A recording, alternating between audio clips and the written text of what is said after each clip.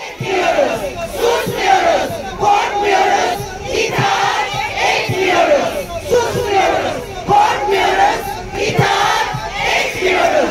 Bu daha başlangıç mücadeleye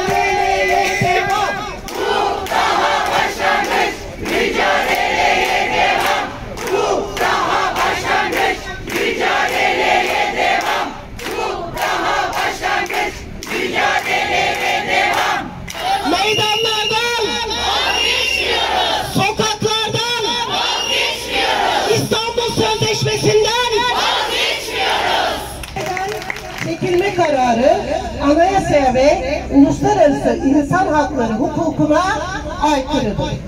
İnsan haklarına aykırı faaliyetlerde bulunmak devletin yetkisini açıkça kötüye kullanmaktır.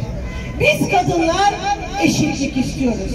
Evde, işte, sokakta korkmadan yaşamak, çalışmak, yürümek istiyoruz. Şiddete uğramaktan,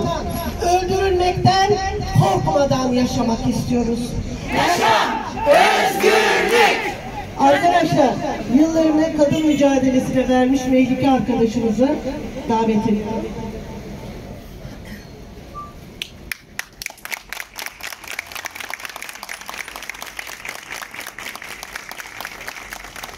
Geceden beri ağlıyorum. Aklıma beton dökülmüş kadınlar, bidonların içinde. Yakılmış kadınlar, boğularak öldürülmüş kadınlar. Geliyor da. Biz diyoruz, ben, ben diyorum ki acaba nerede yanlışlık? Ben bugün Kuşadası'nda böyle bir birlikten dolayı hepinizin önünde saygıyla eğiliyorum. İnşallah artık hiçbir ayrım olmadan sırf ölen ya da ölecek kadınlar için bir arada olursun. donduran kadın ve LGBTİ cinsiyetine şahittir. Cinayetlerine özür dilerim.